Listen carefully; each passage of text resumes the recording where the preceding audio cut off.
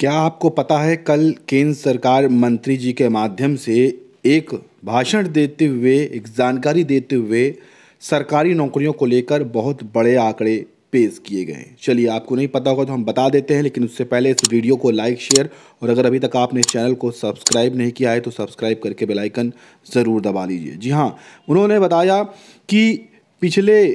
पाँच सालों में उन्होंने चार लाख तिरसठ हज़ार से अधिक सरकारी नौकरियाँ यहाँ पर दी हैं। सरकारी नौकरियों की बात हो रही है, यहाँ पर छात्रों को उन्होंने ऐसा बताया। और ये आंकड़े उन्होंने पिछले लगभग सालों के बताए हैं, जो नौ सालों में उन्होंने दिए, वो आंकड़े यहाँ पर उन्होंने गिनाए उन्होंने बताया कि हमने ये जो भर्तियाँ हैं, वो यूपी, एससी, ठीक है, एसएससी, आरआरबी और इन सभी के तहत हमने ये भर्तियाँ किए उन्होंने ये भी जानकारी दी कि सरकार ने सभी मंत्रालयों में, आप नीचे देख पाएँगे, सरकार ने सभी मंत्रालयों और विभागों को रिक्त पदों को समय पर भरने के अलग से निर्देश भी दिए हैं। यानी कि भविष्य में भी नई भर्तियाँ आई रहे, आती रहें, इसके लिए ये निर्देश भी दिए गए और ये सभी जो जानकारी दी गई है, वो केंद्रीय कार्मिक राज्य मंत्री